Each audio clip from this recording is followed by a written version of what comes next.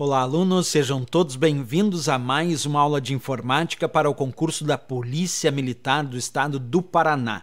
Pessoal, nessa aula nós vamos continuar resolvendo questões de acordo com o conteúdo do edital, mas lembrando quem desejar adquirir o nosso curso com o conteúdo de informática para o concurso da PM Paraná, pode acessar o nosso site, o endereço é veonconcurso.com.br e o link para acesso está aqui na descrição desse vídeo. Então vem comigo e acompanhe a leitura da questão de hoje que diz assim: qual a tecla de atalho é utilizada para formatar os caracteres de uma fonte em negrito no LibreOffice Writer?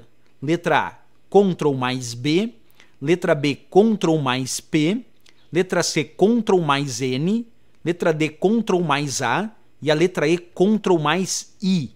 E aí, pessoal, qual desses atalhos serve para formatar negrito? Dentro do LibreOffice Writer, é claro que aí as teclas de atalho nem sempre são as mesmas do Word, já vou avisando, tem que prestar atenção aqui no LibreOffice Writer, que é outro editor de textos. Observa comigo, eu vou digitar aqui, pessoal, a palavra Veon, Vamos colocar aqui embaixo concurso.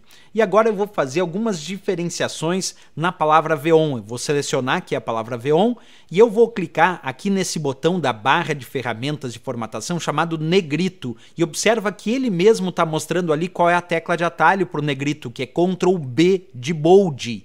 Percebe? No Word, negrito é Ctrl N de negrito, mas no LibreOffice Writer, o negrito é Ctrl B de bold, o termo aí seguindo o padrão das teclas de atalho em inglês. Então vou pressionar ali, ó, e ficou negrito. Ou posso pressionar Ctrl B também, que vai ficar em negrito. Para aproveitar a questão, o itálico é Ctrl I Aí deixa itálico. O sublinhado é Ctrl U, que coloca uma linha na parte inferior, lembrando aí o negrito deixa a fonte mais espessa, Ctrl B. O itálico deixa a fonte inclinada, Ctrl I, e o sublinhado uma linha na parte inferior, Ctrl U. Além disso, claro que existem muitas outras teclas de atalho, mas eu faço um destaque aqui, porque a questão também pede, para o Ctrl N, que no Word é negrito, e aqui no LibreOffice Writer o Ctrl N é para novo documento. E aí quando eu clico em Ctrl N, ele abre um novo documento documento em branco. Então lembra aí que o Ctrl N não é negrito, negrito aqui é Ctrl B, certo? O negrito é Ctrl B e o Ctrl N como eu já disse para vocês aí anteriormente, é para novo documento. Olha como é importante as explicações que eu dei em função da questão. Qual tecla de atalho é utilizada para formatar os caracteres de uma fonte em negrito no LibreOffice Writer? Como acabamos de ver, negrito é Ctrl B de bold. O Ctrl P, pessoal, é para imprimir imprimir. O Ctrl N é para novo documento, principalmente novo documento em branco. O Ctrl A é para selecionar tudo. Pressiona Ctrl A, ele seleciona tudo.